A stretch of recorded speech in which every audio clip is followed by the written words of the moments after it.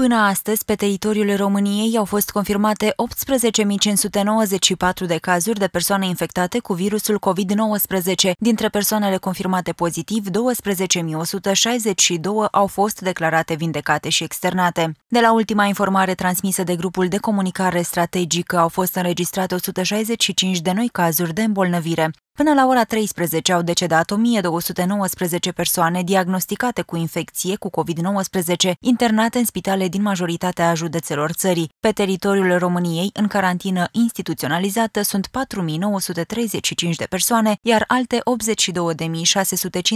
de persoane sunt în izolare la domiciliu și se află sub monitorizare medicală. Până la această dată, la nivel național, au fost prelucrate 397.563 de teste.